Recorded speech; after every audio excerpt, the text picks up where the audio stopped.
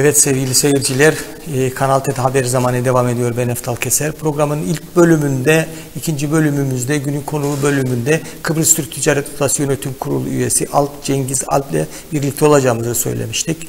E, İktisadi ve Mali İşbirliği protokolünü konuşacağız. Alp Bey hoş geldiniz. Hoş bulduk Eftal Bey. Nasılsınız? İyi diyelim, iyi olalım inşallah. Zor bir süreçten geçiliyor tabii bu iyi sözcü Kıbrısların alışkanlığı ama hakikaten tabii zor günlerden geçiliyor.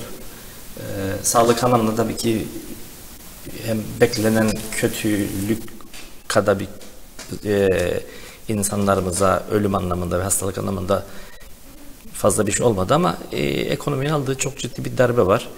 Ve önümüzdeki süreçte de tabii ki bunun artçıları gelecek. O bakımdan endişeliyiz. Sağlık olarak iyiyiz tabii ki. Evet, e, şey, Kıbrıslı Türklerin bunu genel bir yaklaşımıdır bu. Biraz önce siz de söylediniz. Nasılsa iyidir idare ederiz. Ondan sonra şikayetlerimizi söyleriz. Arkasına da sıralamaya başlarız şikayetlerimizi.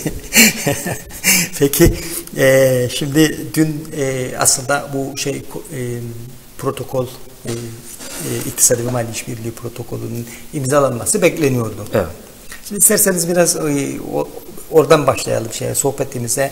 E, zamanlamayla alakalı. E, e, ben mesela şey e, bayramın son günü e, bunu duyduğum zaman, izlediğim zaman işte basına paylaşıldığında başbakanlık bunu işte işbirliği anlaşması imzalanacak diye.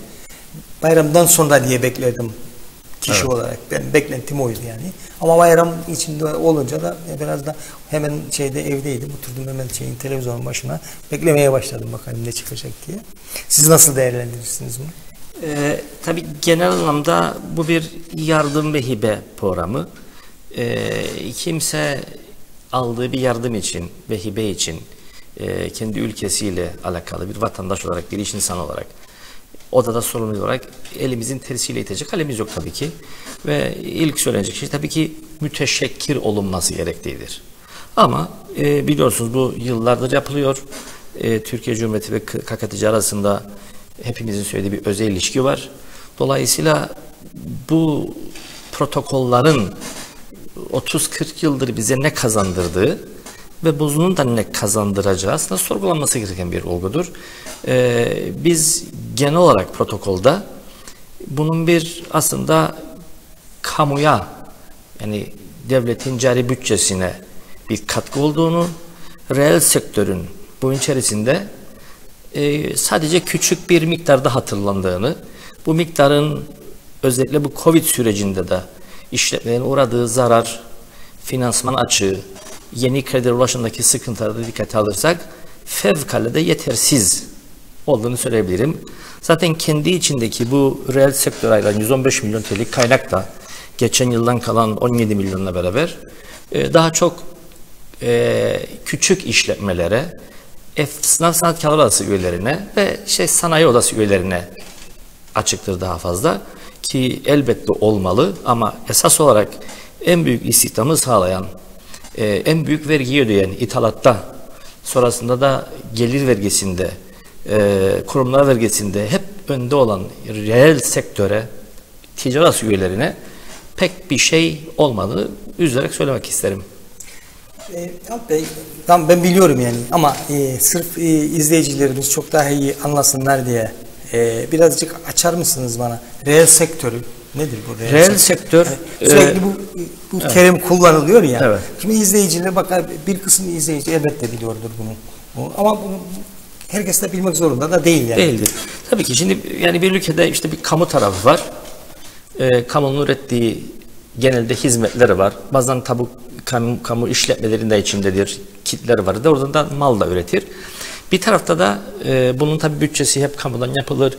Zarar ettiği pek sorgulanmaz, e, ne ettiği pek sorgulanmaz. Kendi içinde, kendi yapısına münhasır bir yapıdır.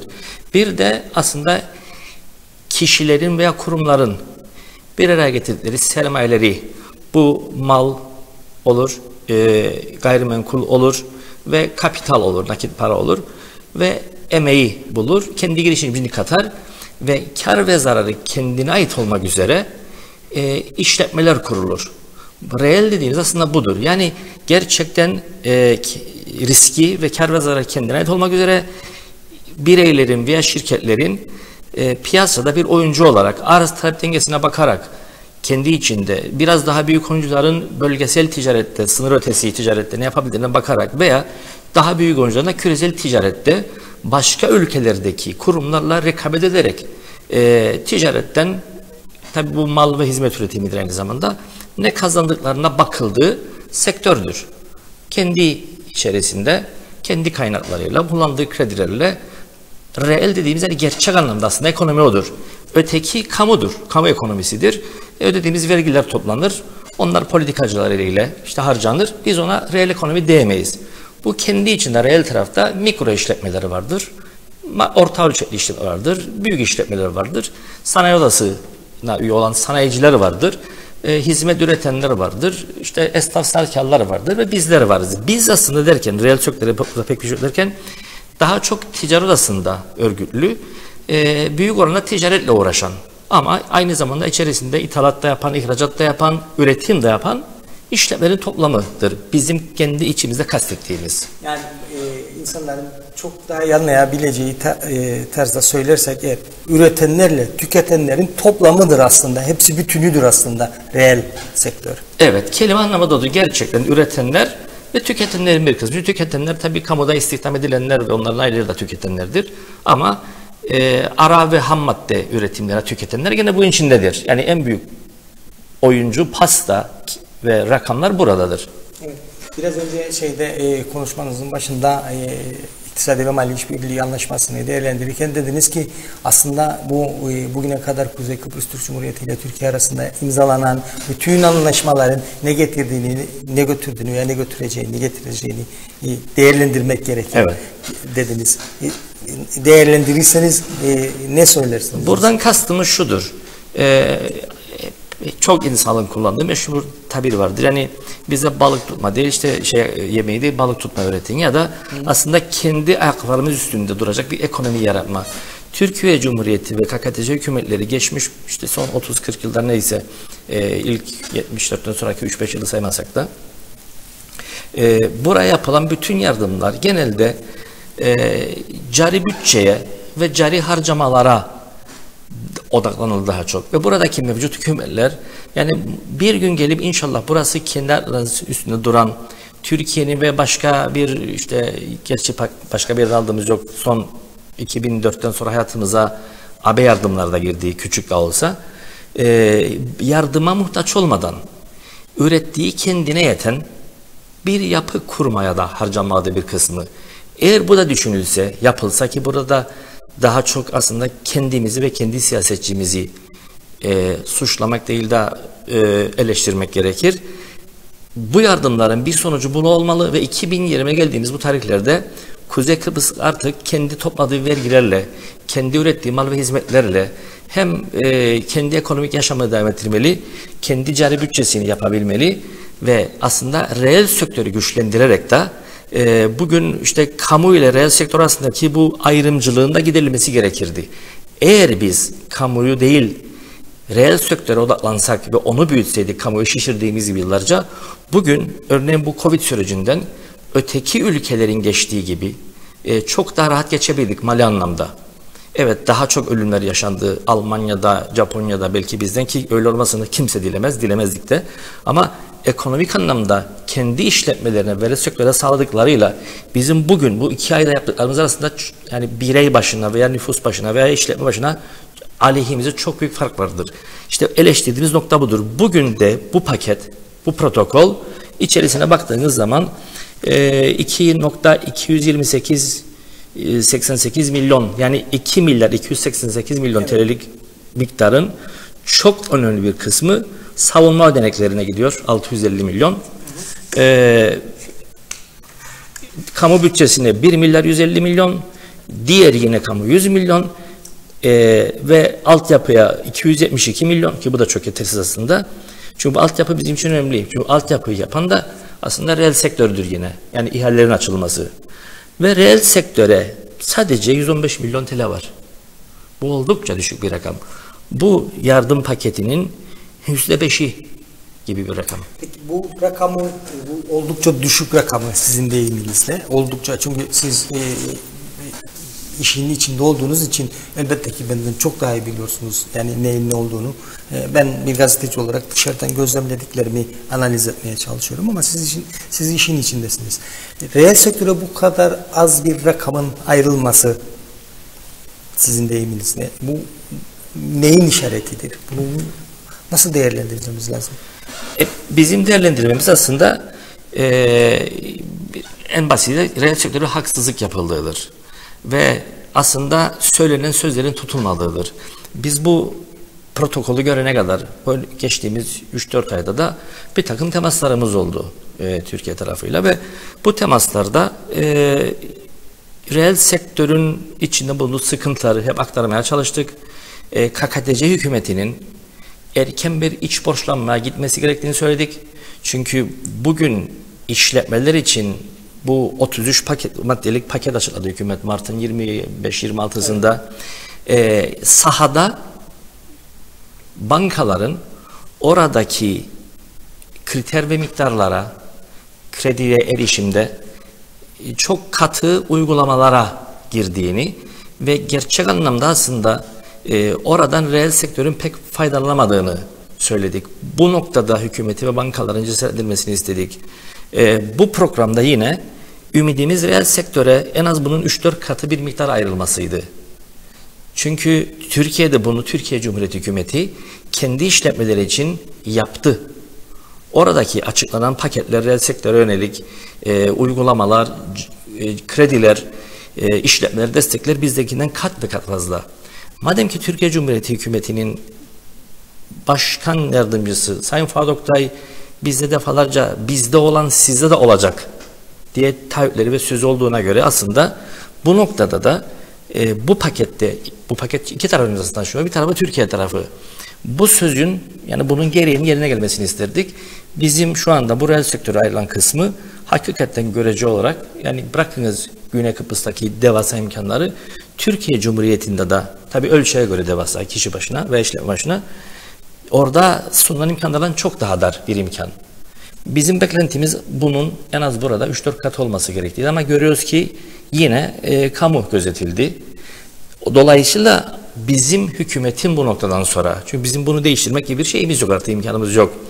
Bu paketin içinden e, harcanacak yerler belli. Protokolda belirledi. Ekleri de var. Altyapıya gidecek belli. Evet.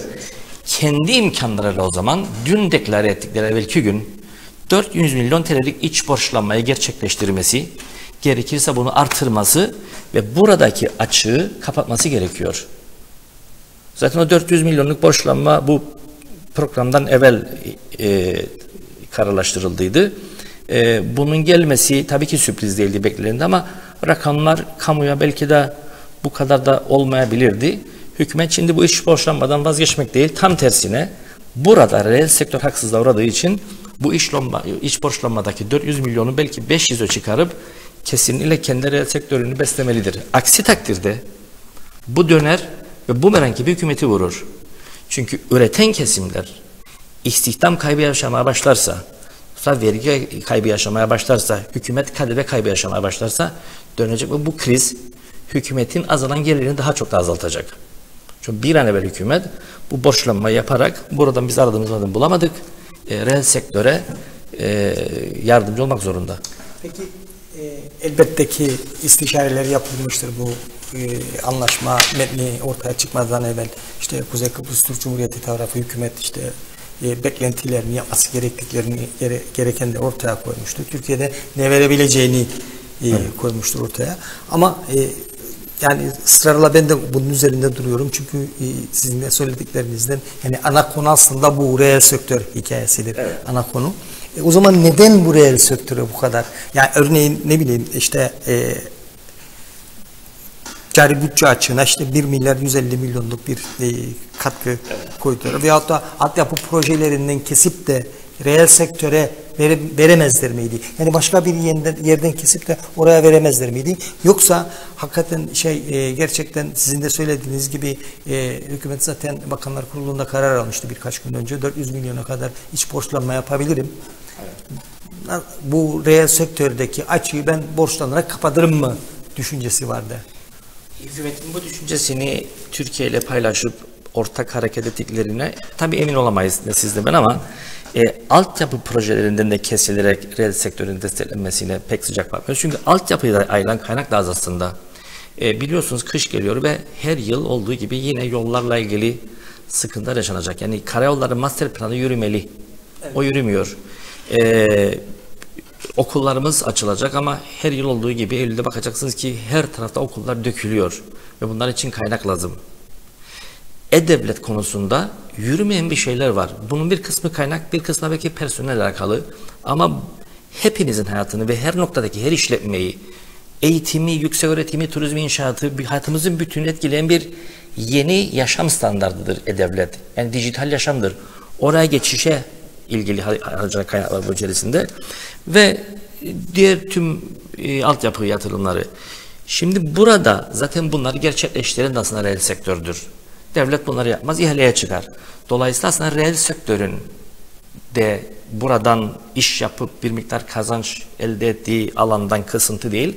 Aslında yapılacaksa bu cari bütçe ayrılandan bize kaynak aktarılabilir. Eğer bu da yapılamıyorsa çünkü şu anda bu reel sektörü pardon kamuya ayrılan 1 milyar 150 milyon TL önümüzdeki 7 ay için Haziran'dan Aralık'a 165 milyon TL aydadır. Bu zaten aşağı yukarı e, Covid gelmeden önce hükümetin aylık bütçe açığına yakın bir açıktı. Dolayısıyla buradan belki bu finanse edilecek. O nedenle diyoruz ki kamu mutlaka o zaman bundan ayıramayacağına göre çünkü belli bir açığı vardı. Altyapından ayrılmasına biz istemiyoruz aslında. Zaten çok yüksek bir rakam değil o. 245 geçen seneden aktarılan 27 milyona da e, 272 milyon. O da büyük bir rakam değil. Evet. Borçlanmaya kararı devam etmeli ve belki o borçlanma artırılmalı. Yani 273 milyona yakın bir rakam. Evet. Yani 973 1601 evet. liralık. Bir... bir de 2019 2020'ye geçtik işte. E, aktarılan bir miktar kaynak var, ayrılan bir kaynak var. Bir de hükümete bunları yaparsan bu parayı, bu krediyi, çünkü bu hem hibe hem kredi şeklinde. Evet. Ee, bunun 1 milyar 38 milyon TL'si hibe, e, 1 milyar 250 milyon TL'si de kredi. Yani geri ödenecek şekilde. Bunları yaparsan bunu hak edersin, alırsın denilen bir belge var. 17 madde. Evet. Şimdi biraz da bunlara bakmak lazım. Hükümet gerçi e, geçmişte bunlar çok daha detaylıydı ve bazen daha da katıydı aslında. E, ancak burada yazılanlara baktığımız zaman ki bu nispeten eskiye göre daha naif bir belgedir. Yine de burada yazılanların sene sonuna kadar aslında gerçekleşeceğine dair bir ümidimiz de yoktur.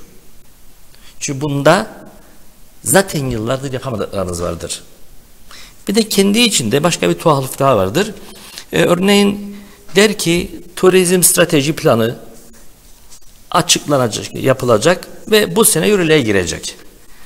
E, yüksek öğrenim strateji eylem planı yapılacak. Bakanlar olarak da yürürlüğe girecek.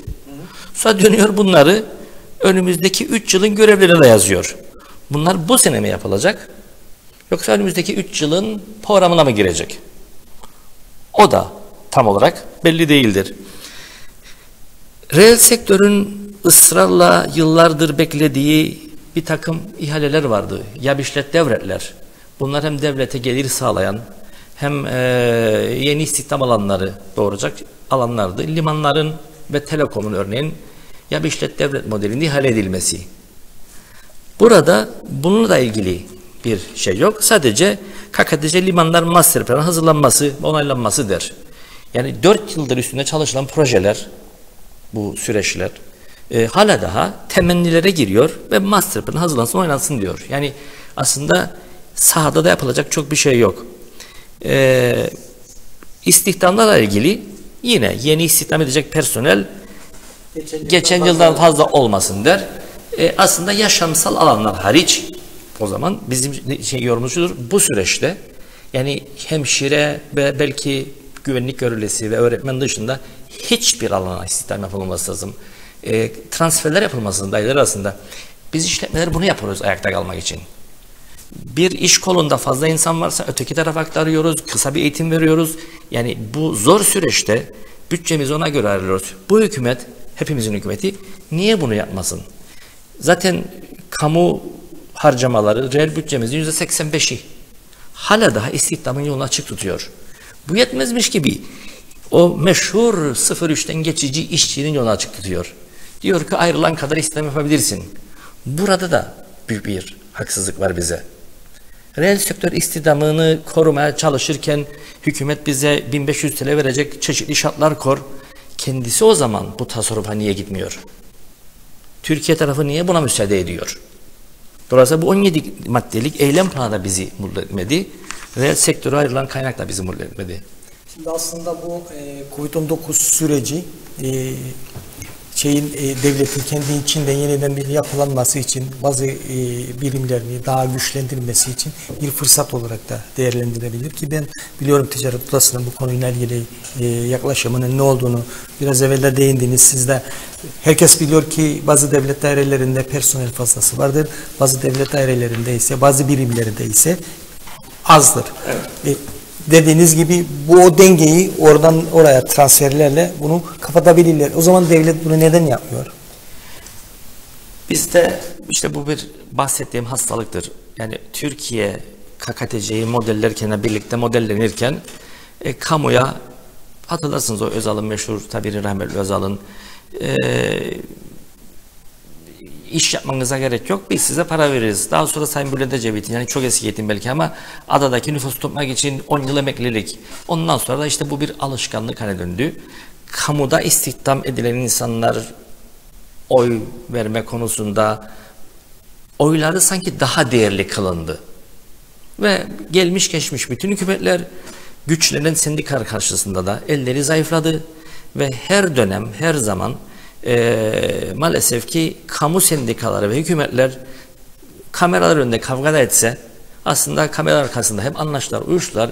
Bu kamu büyüdü, büyüdü, büyüdü ve bir gün ödeyeceğimiz noktaya geldi. Bu yani demin söylediğim gibi 30 yıllık bir mirastır bize ve bundan bir ara kurtulmamız gerekiyor. Bunun için bir ciddi hamle 2008 yılında yapıldı. E, sendikalar adına göç yasası dediği aslında tek sistemde emeklilik o yasayla ilgili. Herkesin e, aynı sistemde emekli olacağı yeni hayata geçtik ama onun da sonuçlarını vermesi için belli 25 yıl lazımdı bize. Onun ancak 12 yılı geçti. Dolayısıyla bugün e, 3 kişi çalışan bir ailede bile bazen aldıkları ücretin toplamı e, işte 30 yıldan emekli bir çıkmış bir insanın emekli maaşına denk gelmiyor. Biz böyle bir düzen yarattık. Şimdi bunun altında ezilmeye devam ediyoruz. Sizin ifade ettiğiniz gibi Bazen kötü süreçler yani hastalığın ya da bazı başka olağanüstü küresel olayların yarattığı fırsatlar olur. Yani geleneksel hastalardan kurtulma. Ama benim anladığım şu anda e, bunu iki ay evde kapalıyken işte sosyal medya çok kullandık, çok kullanıldı. Hiçbir şey eskisi olmayacak ama bunun nasıl değişeceği konusunda e, emin değiliz. Daha doğrusu bunun kolay değiş değişmeyeceğini görüyoruz. Dolayısıyla şikayetlerimizi hep söylemeye devam edeceğiz. Ama e, aslında üzerinde durulması gereken, altının kalın kalın çizilmesi gereken, yani herkes bazı şeylerden şikayet ediyor. Herkes, hükümet de şikayet ediyor, siz şikayet ediyorsunuz, ben şikayet ediyorum, bizi izleyenler şikayet ediyor. Ama gelin görün ki o şikayet ettiğimiz şeyler hala devam ediyor. Mesela e, işte şimdi bir, bir dört gözünden bekledik, bekledik, herkes bekledi işte Türkiye'den yardım gelecek, Türkiye'den yardım gelecek. Bakın mesela siz ortaya koyarsınız, diyorsunuz ki ne reel sektöre ne altyapıya yeterli değildir bu miktar. O zaman ne olacak? E, hükümet 400 milyon borçlanacak. Peki bu 400 milyon borçlandığında e, şeye giderse bu ne olacak? E, e, şimdi 3 ay memurdan kesinti yapıldı. Evet. Haziran ayından itibaren dediler memurdan kesinti yapılmayacak önlemler alacak. Şeklinde bir buna yakın bir açıklama oldu. Şimdi benim aklıma hemen o geliyor. Acaba diyorum e, o kesintileri karşılama anlamında o şey, e, o açığı kapatmak için mi kullanılabilir bu miktar? Umarım öyle değildir. Çünkü elbette çalışanların yani kamuyu kastederek elbette. geldikleri bir yer var. Hayatların belli bir düzeni var. Ve biz kanun dışı bize isteme, bir şeyde istediğimiz yok. Belli bir karar aldı hükümet. Üç ay onların maaşlarından bir kesinti yaptı. Bunu geri beklediklerini de biliyoruz. Ama Umarım yani bu yorum haklı değildir. E, bu iç borçlanma ile ilgili e, kesinlikle devlet pastayı büyütmeye yönelmelidir. Aslında pasta reel sektörü sizin başta sorduğunuz. Eğer bu miktar 400 milyon TL ek kaynak aslında işletmelerin cari ihtiyaçlarına, mali ithali için ihtiyaç duyduğu kaynağı, istikrarı korumak için ihtiyaç duyduğu ek finansman desteğine harcanırsa ve burada e, işletmelerin mal ve hizmet üretimi, tabi bir yerde bunların satılması gerekiyor. Yani alım gücünü de desteklemesi gerekiyor. Bunlar desteklendiği takdirde buradan doğacak vergilerle hükümet planlı yapmalı. Yoksa o 400 milyonu da alıp ya da buradaki 1 milyar TL ki böyle yazıldığı için belki böyle olmak zorunda. Doğrudan kamunun cari harcamalara yani nedir bu işte maaşlara ve transfer dediğimiz işte sigorta, ihtiyaç sandığına, diğer ödemelere, sosyal yardımdır, dul yardımıdır yani hepsi tabii ki olması da gerekir ama bütün burada harcanırsa reel sektörün kendi yanında kendini kavurması bu süreçte mümkün olmayacak. Ve hakikaten orada da ortaya çıkacak işsizlik ve devletin gelir azalışı ve vergilerdeki azalış ki özellikle bizim ithalatta toplanır vergi hem KDV öderiz hem fonu öderiz hem FIF'i öderiz hem stopajı öderiz peşin gelirken mal hükümetin gelirinde eksikliğe ve yeni açıklara sebep olacaktır. Onun için süratle bu 400 milyonun aslında borçlanma kararı doğrudur. Alınıp belki arttırılıp da reel sektöre e, kaynak yaratılması lazım. Çünkü o 33 maddelik destek paketinde açıklanan 1 milyar TL'lik bir paket vardı. Kredi Garanti Fonu destekli işte 500 bin TL'ye kadar bir borçlanma imkanı. %9'unu bankalar, 3'ünü devlet karşılayacaktı faizin, 12 faizi. Ama sahada çok bir karşılık bulmadı. Çünkü bunun son kararı bankalar bırakıldı. Bankalar tabii görevleri ve sorumluları gereği e, fazla inceleyip sık dokudukları için bu süreçte o rakam realize olmadı, olamıyor.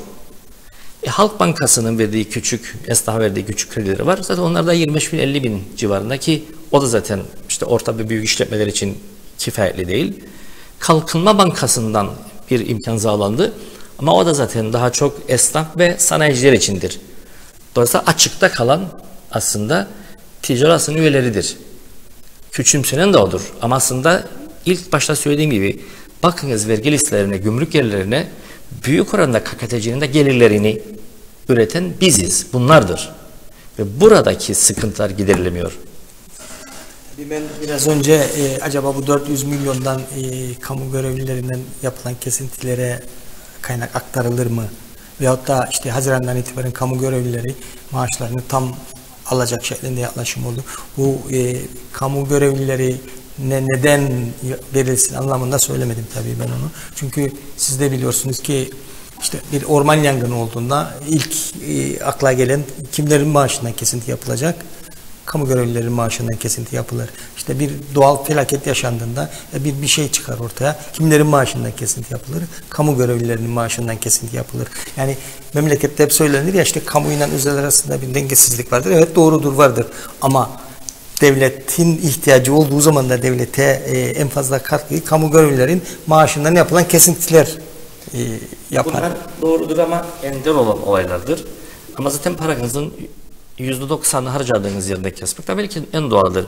Bu bugün bahsettiğimiz %85'lik kamu bütçesinin gittiği maaş ve diğer ödenekler e, zaten son 7-8 yılda 90'lardan buraya geldi ancak bir ara 90 üstüne 91 92 idi bu. Yani devlet topladığı bütün parayı zaten kendi çalışana dağıdırdı. Reel sektöre hiç yok gibiydi. Altyapıya zaten Türkiye'den beklerdi. Dolayısıyla dağıttığı yerden alması biraz bence doğaldır. Ki ender olan olaylardan bahsettik. Aslında ben hala e, o başladığımız noktadayım. Ben oraya takıldım. E, reel sektörü bu kadar çok önemli de neden bu kadar az bir rakam ayrıldı ve, ve Türkiye neden bunu böyle öngördü? Yoksa bizimkiler biz mi, hükümet mi ısrar? Yok hayır bu bize yeterlidir. Bilemiyorum yani ne, ne düşünüyorsunuz? E, burada siz? demin söylediğim gibi daha çok örgütlü kesimlerin ihtiyaçlarına bakılıyor. Türkiye'de burada işte önümüzdeki süreçte bir belki iç huzursuzluk veya işte işte mevcut iktidarın devamı iyi olur anlamında dolayısıyla bunları olumsuz etkileyecek daha örgütlü olan kamu kesimin ihtiyaçlarını gidermeye yönelik düşünür gibi ancak cevaplayabilirim. Çünkü biz zaten bunu anlam veremiyoruz ama başka bir anlam ararsak aslında bunun biraz popülist bir yaklaşım. İşte biraz söylediğim gibi e, seçim kaygıları ve işte burada en geniş örgütlü olan çünkü zaten bu kesimlerdir. E, bunların e, rahatsızlık vermemesi, eğilimlere gitmemesi gibi saygılar ve kaygılarla olabilir ancak diyebilirim. Yoksa kendi ülkesinde Türkiye Cumhuriyeti reel sektöre çok daha cömert davranırken bu yardım protokolünde bizi e, bu kadar az önemsemesinin başka bir izahı bence yoktur. Olmaz da. Peki şeyi nasıl değerlendirirsiniz? Ee, bütçede açık vermenin bir nedeni de sosyal güvenlik sistemindeki zafiyet mi? O kötü bir sistem mi bu ki biz e, sürekli çünkü söyle işte şu kadar adam çalışır şu kadar adamı öder şeklinde Evet. bir e, orantı vardır işte. arada. Üçe bir gibi. Evet ve bu 2020 yılı içerisinde de gözden geçirilmesi isteniyor bunun. Yani bir yapıya oturtulması isteniyor. Bir endişe var. O 7. bat olarak yer buldu. Ee, sosyal güvenlik sisteminin gelecek 20 yıla yönelik aktüeli dengesinin analiz edilmesi. Evet. Şimdi bu aktüel hesaplar aslında yasal tedbirlerin diyor alınması. hayata geçirilmesi. Dünyada tabii en zor yapılan hesaplardır bunlar ve e, belki bu sistemler batıda, büyük ülkelerde, e, daha gelişmiş ülkelerde insan ömrünün uzayacağını, şu hastalıklara karşı artık daha tedbirli insanoğlu yaşam daha hijyendir ve ömür uzamaktadır. Tarihsel sürece baktığınız zaman Öyledir, evet. 100 sene, 200 sene önceki ortalama yaşamla bugünkü arasında çok fark vardır. E, savaşlarda daha az insan hayatını kaybediyor. Dolayısıyla ortalama ömür uzamıştır. E, işte demin biraz şikayetçi olduğumuz örgütlü kamu kesimlerinde emeklilik yaşının kolayına yükseltilememesi ki belki de vatan ülkesini bu kadar seven insanlardır bunlar ki öyledir de ona hiç şüphemiz yoktur. Yani bahsettiğimiz Kuzey Kıbrıs ya da buna benzer ülkelerin kendi vatandaşlarıdır. 60 yaşında emekliye ayrılıp işte Allah ömretsin ortalama ömür de 85'tir erkeklerde. Ee, Kadınlarda 87 gibidir veya 83-85 gibi. Ortalama bir 85 var. 25 yıl bu bütçeden de maaş alması aslında bizim sistemin ya da birçok ülkede aslında bu sorun olmaya başladı. E, kaldırılabilecek bir şey değildir. Dolayısıyla bizden çok daha düzenli, daha iyi gelire sahip ve daha e, or, milli geliri kişi başına bizden 3 kat olan ülkelerde Danimarka, Hollanda, Belçika, İngiltere gibi ülkelerde emeklilik yaşı sürekli yükseltildiği takdir halde bizde KKTC'de maalesef bu yapılamıyor. Evet, bir ülke, bir veya iki ülkedir 63 emeklilik yaşı. Geriye kalanlar 65, 68, 70 hatta e, şu anda hatırlayamıyorum ama bir ülkede 70'in de üzerindedir. Evet, dolayısıyla 2008'de yapılan tek sosyal güvenlik yasası ki demin konuştuk bir başlangıçtı bunu aslında aktüel dengeler için. E, aynı zamanda kamuda da istihdam edilenlerin ve so- sigorta e, sisteminde aslında emeklilik yaşının en az 5 yıl yükseltilmesi lazım. Bizim aslında kendimiz içindir bu. Ben ve siz emekli olduğumuzda o maaşa gerçekten ulaşmak için ve hak etmek için biraz daha fazla çalışmamız gerek. Ve bize göre bu en az 5 yıl dahadır. Dolayısıyla bu konsensüslerde bunlarda buluşmamız lazım bizim halk olarak. Parça parça küçük küçük statikolar var ülkede aslında ve genelde herkes e, bir şeyler yapılmasına hem fikirdir ama genelde kendinin aleyhine olabilecek ama toplumun yararlanacak bütün şeylerde benden başlamasın ya da benimki olmasın gibi yaklaşımdayız. Biz olgusu yoktur. Evet. Ben merkezli. Hareket, Evet. Maalesef öyledir. Sektörler öyle, meslek dalları öyle, sonuçta kişiler öyle. Yani bu, bu böyle yani biz bunu kıramadık hiç. Dolayısıyla bu güvenlik, sosyal güvenlik meselesi çok kritiktir, çok yaşamsaldır. Düşünün bir gün gelir de eğer bu ülkede bu maaşla geç, sadece bu maaşla geçinen insanlar vardır. 30 yıl çalışmıştır ve bütün hayatı yaşlılığı, alacağı ilaç, hap, torun alacağı hediye, vereceği harçlık, kendi ihtiyaçları buradan karşılanacaktır. Bunun eee, ödenebilecek olmaması hakikaten çok büyük yaralar açar. Dolayısıyla biz genç ve şu an çalışanlar yeni nesil olsun. Yani en başta aslında yapmamız gereken fedakarlardan biri budur. Emeklilik yaşı KKTC'de mutlaka yükseltilmelidir. Aksi takdirde bu aktüel hesaplar çok yakın zamanda tutmayacak ve e, o zaman da başımıza gerçekten büyük bir dert açmış olacağız. Şimdi benim dikkatimi çeken biraz evvel e, sizinle konuşurken de altını çizmiştim. Evde de biraz bakmıştım şeylere. Bazı notlar aldıydım. Ee, örneğin işte 10. maddesinde e, anlaşmanın iç, içeriğine değinirken iş yapmayı kolaylaştıracak gerekli tedbirlerin alınması ve düzenlemelerin yapılması. O da bu 2020 yılı içerisinde e, hayata geçirilecek. Ben biliyorum ki ticaret odası, sanayi odası yani iş çevreleri bu iş yapmayla ilgili bürokratik engellerden şikayet ederler. Evet. Yıllardır, 10 yıllardır ve buna yönelik e, 7-8 yıl önce kademeli olarak hepsi bir senede yapılmadı. İşte önce yatırım geliştirme ajansı kuruldu. Yaga'yı kurduk. Onu bir türlü çalıştıramadık. Sonra değiştirdik. Yetkilerini değiştirdik. Bütçesi yoktu. Biraz bütçe verdik. Ama hala da çam çalıştıramıyoruz. Yatırım ortamını iyileştirme kurulu kuruldu. Bakanlar Kurulu kararıyla bir toplantı yaptı sadece. Bir toplantı. Onu sürdüremedik. Reel sektör danışma kurulu kuruldu.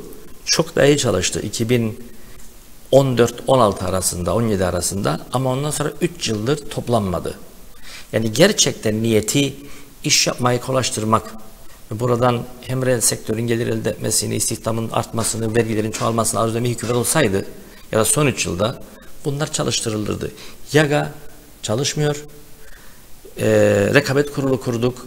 Zaten 3-4 yılda ancak kendisine küçük bir bütçe ayrıldı ve özgürleşti. YOİK, Yatırım Ortamı İyileştirme Kurulu çalışmıyor. Reel Sektör Danışma Kurulu 3 yıldır toplantı yapmıyor.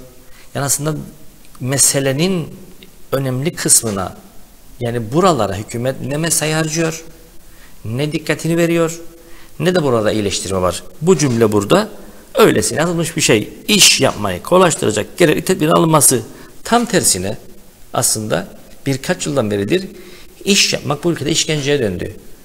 Kamuda bir umursuzluk, e, Facebook devleti olduk. Dairelere gidersin, memur başını kaldırmaz, e, gözü tabletindedir veya cep telefonundadır.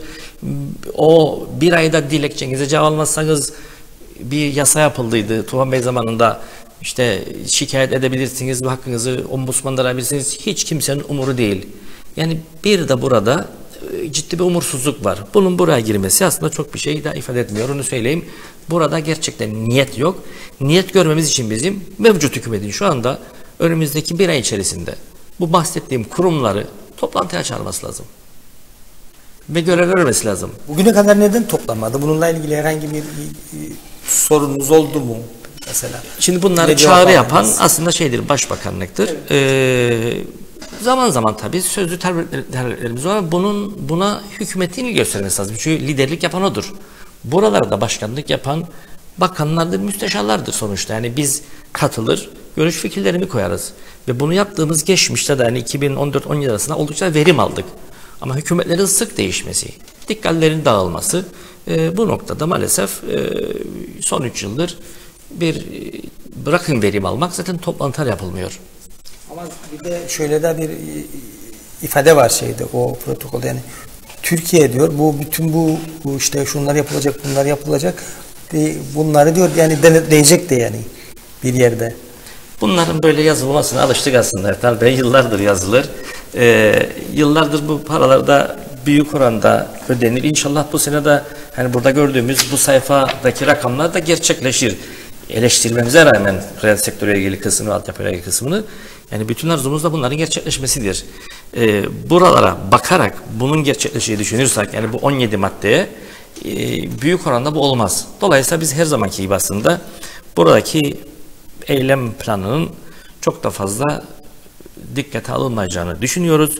Çünkü aslında olmasını istediğimiz birçok şey var burada ama önümüzdeki takvime bakarsak zaten iki buçuk üç ay sonra seçim yasakları başlar. E, maalesef ki meclisin yaz tatili geliyor. Şimdi bütün bundan olması için aslında bir yerde yasamanın verimli çalışması lazım. Yani meclisin. Bizim bir büyük sıkıntımız da mecliste yasa yapmanın o alışkanlık, o verimlilik artık kalmadı. Mecliste yasa üretme konusunda meclis e, birkaç yıldır sınıfta kalıyor. Bir bakınız kaç tane yasa var bekleyen kadük olan. Çünkü bir parlamento haftada iki gün meclise giderek üyeleri ve bazen de komitelerin toplanacak yeter sayısı olmadan çoğu zaman devamsız olan milletvekilleri de var. Bu şekilde çalışarak bize yani bu bahse konu sıkıntıları KKTC'nin hani 30 yıldır arada sıkıntılar var dedik e, çare öğretmesi mümkün değil. Hiç olmazsa gelelim bu süreçte bırakınız meclisin çalışma günleri hafta 4 olmalı iki katı. Yaz tatili geliyor şimdi meclisin. Diyecekler ki anayasaldır bu. Meclisin tatile girmesi lazım. Ama biz de diyoruz ki zaten siz 60 gündür çalışmıyorsunuz. Evlerinize kapandınız. Evet arada bir belki toplandılar ama çok ender. Gelin bu yaz tatilinde deyin ki Covid-19'dur bu. Bir yığın olağanüstülük yaşandı dünyada. Ülkeler hiç akla gelmeyen tedbirler aldılar. Güney Kıbrıs'ın resmi hava yolları Cyprus Airways 50 milyon dolar borçlanmak istediği hayatını sürdürmek için Avrupa Birliği Rum kesiminde dedi ki hayır bu rekabet kurallarına aykırıdır yapamazsın. Ve Cyprus Airways'i kapattılar. Ama bugün bakıyorum öğlen televizyona dün de aynı şeyi gördüm iki kere üst üste. Alman hükümeti Lufthansa'ya 9 milyar euro kaynak verdi. Hani AB kuralları? Hani şey rekabet, e, rekabet kuralları? Yaşamsal dönemlerde yaşamsal kararlar alınır. Geliniz siz de bu meclis, yaz tatilinde deyiz ki bu meclis çalışacak. Çalıştırın meclisi yasama görevini yapsın. Beklediğimiz birçok şey var. Ve bu belgede de 17 maddede de çeşitli hazırlanması gereken yasalar var. Eylem planları var. Stratejik planları var. Master plan hazırlaması var. Merkez Bankası'nın profesyonelleşmesi var. Hadi bakalım gelin bu tatilde çalışın ve bunları yapın. E-Devleti hızlandırın. Görelim. Ben... Bu kadar parayı alanların bunu yapması lazım. Biz reel vazifemizi yapıyoruz fazlasıyla. Can hıraş. Bugün bu ülkede son 3-5 ayda iş yapanların ve önümüzdeki 3-5 ayda iş yapacak herkes birer cesur yürektir. Göğsüne madalya lazım. Kıtlık içinde. Bir yandan istihdamı korumaya çalışırsın, işçin sana bakar. Bir yandan ödemelerini yapacaksın, mal almak zorlaştı. İşte çek yasası, şudur budur. Çekin itibarı da biraz azaldı. İnsanlar ham maddesini, malını almakta güçlük çekiyor, istihdamı korumakta güçlük çekiyor. Ama işini yapmaya çalışıyor. Hadi bakalım meclisten göreve. Ben aslında tahmin ediyorum ki e, meclis bu yıl yazda çok kısa bir dönem tatil yapar. Belki bir 15 gün tatil yapar ve çalışır diye tahmin ediyorum. Kişisel umarım görüşümdür siz tabii. çıkarsınız. E, umarım öyle olur yani çalışır diye düşünüyorum. E, çalışmaması için de aslında bir neden de göremiyorum ben. Nasıl ki işte Cumhurbaşkanlığı seçimleriyle alakalı toplandılar, hukuki bir e, zemin oluşturdular ve Cumhurbaşkanlığı seçiminin 11 e, Ekim'e ertelendi. Ve sizin de söylediğiniz gibi meclisinde çalışmasıyla alakalı hukuki bir zemin oluşturabilirler diye düşünüyorum ben. Hukuki zemin olmazlarsa adını fedakarlık koysunlar. Biz yapıyoruz. Reel sektör yapıyor. Desinler ki biz fedakarlık için gidiyoruz. Yasa bize izin vermez. Biz gidiyoruz. Haydi bakalım. O zaman toplum geneli gerçekten alkışlar. Ve bir konuya daha girmek isterim. Şimdi e, tabii daha çok programa yoğunlaştık. Ekonomik protokola ki zaten konumuz da buydu ama ee, şimdi bizim çok ciddi bir sorumuz var. Genel ekonomiyle ilgili. KKTC'nin kendi içinde ürettiği mal ve hizmetler toplamı, ithalat, ihracat, bütün bu rakamları ortaya koyduğumuz zaman bizim ekonomimizin dış ödemeler dengesinde her zaman çok büyük bir açığı var. Ve biz bunu nasıl kapatırız? Üç alanda bize çok ciddi kaynak gelir. Bunların ikisi hizmettir. Bir de inşaattır. Yüksek öğretimde e, rakamlar tartışılıyor ama 60 bin ile 80 bin arasında bir yabancı öğrenci vardır. E, kimilerine göre bir kısmı aslında öğrencidir ama da değildir ama alalım en az rakamı 60 bin. Bunların yaklaşık 16-17 bin dolar her birinin yılda harcaması vardır. Buradan zaten çok ciddi yani 1 milyar dolara yakın bir kazancı vardır KKTC'nin. E, buralarda bu okullarda okuya çalışan binlerce insanımız ve gururla söylerim profesörlük mevkine de ulaşmış binlerce öğretim üyemiz vardır. Ben gençken çocukken Kıbrıslı profesör adı duyduğumuz zaman yani hiç unutmaz ve hayretle bakardık ama bugün yüzlerce Kıbrıslı profesör var ve hak ederek buralara gelirler ve bu okullarda eğitim verirler. Doçentlerimiz, doktorlarımız öğretim görevliler. Bu alanda bizim mutlaka burada yazdı aslında yüksek öğretim strateji planı ama e, içerisini bilmiyor, içeriğini bilmiyoruz ve zaten dediğim gibi önümüzdeki iki ücret tatilse bunu ne zaman yapacaklar? yeni öğretim yılı başlamadan yani Eylül'de Türkiye'de YSK yapılmadan ki yapılıyor aslında 28 Haziran'da galiba öğrenci seçme ve eleştirme sürecinde Kuzey Kıbrıs Türk Cumhuriyeti üniversiteleri Türkiye Cumhuriyeti samimi esasındaki samimidir. Bu öyle kabul edeceğim.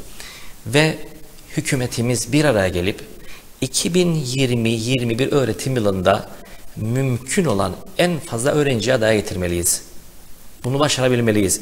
Bu affedersiniz lanet hastalık aslında insanları ve paramızı götürürken tüm dünyada insanlara büyük zarar verirken işte bir yandan da bizim kendi içimizdeki talihimiz, başarımız diyelim. Bu Covid öykümüz başarı bulunur. Ee, KKTC'yi daha güvenli bir bölge haline getirdi. Gıpta ile izleniyoruz.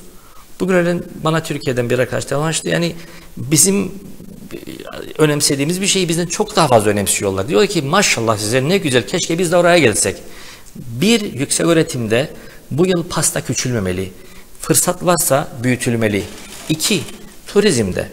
Dünyada şu anda turizm yapacak ülkeler, turizmin en büyük pay alan ülkeler yani İtalya, Fransa, İspanya bu Avrupa'nın o ucu. E, hakikaten üzülerek söyleyeyim tabii zor durumda. Çeşitli planlar yapıyor olsalar da yakın zamanda uçuşlar başlayacak olsa da önemli olan siz arzı sunarsınız ama talep görecek mi? Ben siz ya da bir diğer dünya vatandaşı İspanya, İtalya, Fransa tatile gidebilecek mi? O uçağa binebilecek mi? Buralarda sanırım bu sezon onlar beklediğini bulamayacak. Keşke bulsalar. Ama KKTC bu için bir fırsat sunuyor. Biz iki ay kadar sonra belki artık bir şekilde ile nihayet kapalı kalamayız. Yani bu başarı öyküsü belki bir yerde artık birazcık delinmek zorunda kalacak. Çünkü ekonomiktir mesele diğer boyutu da. Turizmimizde dış talebi yaratacak tedbirleri ki nispeten avantajlı bir duruma geçtik mutlaka almalıyız. Üç, dışarıdan yine e, bir büyük başarı hikayemiz var. Long Beach bölgesi veya Girne. Girne'de tabii büyük başarı diyemeyeceğim. O yüksek yapılaşma Girne'nin silüetini bozdu ama özellikle son 2-3 yılda belli bölgelerimize çok iyi bir dış talep aldık. Konut satışı anlamında. Bu bütün yere var. Yani e, o kuzey soğuk ülkelerden İsveç, Norveç, Finlandiya, İngiltere Rusya. ve Rusya'dan çok ciddi bir talep görüyorum. İnşaata olan talebi canlı tutmak, turizme olan talebi canlı tutmak ve yüksek öğretimde okullarımıza, yüksek öğretim kurumlarımıza bu 3 ay sonraki yerleştirmede gerek Türkiye'den gerek Afrika ülkelerinden veya nereden olursa olsun diyeceğim. Çünkü 106 ülkeden öğrencimiz var. Buralara dış talebi canlı tutmak için ne yaparsak yapmamız lazım. Çünkü kendi ihtiyaçlarımızı karşılamak için bizim yılda 1.7 milyar dolarlık bir ithalatımız var. Yaklaşık 100 milyon dolar da ihracatımız var. 1.6 milyar dolar açık buralardan kapanıyor. Yani hizmet satışımızdan inşaattan. Bunlarda başarılı olmazsak asıl zor o zaman başlar. Ve bu da çok kısa vadeli planlama ister. Bahsettiğim süreç 4-5 aydır. Bu yaz ki turizmi kaçırmamalıyız. Bu yaz ki yüksek öğretimde kayıtları kaçırmamalıyız. Ve yaz sonunda tabii ki o bizim irademize bağlı değil ama o soğuk ülkelerden buradaki güvenlik hakikaticide ben evimi aldım ödemeye devam ediyorum. Ya da komşum arkadaşım aldı ben de alıyorum. Ya da ben nereye gitsem ömrümü geçirsem diyecek insanlara gelin burada. Güvenli bir adada temiz güzel bir havada size uygun bir hayat var uygun bir fiyatta da ev var deyip dış talebi canlı tutmalıyız. Bunu yapamazsak Alp Bey çok teşekkür ediyorum size. Ee, süremizin sonuna geldik. Programımızı kapatıyoruz. Katıldığınız için çok teşekkür ediyorum. Güzel bir sohbetti. Ee, ben de teşekkür ederim bu fırsatı verdiğiniz için. Sizinle ilk kez program ama çok beyefendi birini gördüm. Ee, teşekkürler. Ederim. Nice programlara diyelim size. Teşekkür ederim. Görüşmek Sağ üzere. Sevgili seyirciler, Haber Zamanı'nın ikinci bölümünde, günün konuğu bölümünde e, Kıbrıs Türk Ticaret Odası Yönetim Kurulu üyesi Alp Cengiz Alp'le birlikteydik. E, özünde İktisadi ve Mali İşbirliği Anlaşması'nı ama Kuzey Kıbrıs Türk Cumhuriyeti'nin içinde bulunduğu durumu konuştuk. Yarın saatleriniz 13'ü gösterdiğinde haber zamanının geldiğini unutmayın. Kendinize dikkat edin.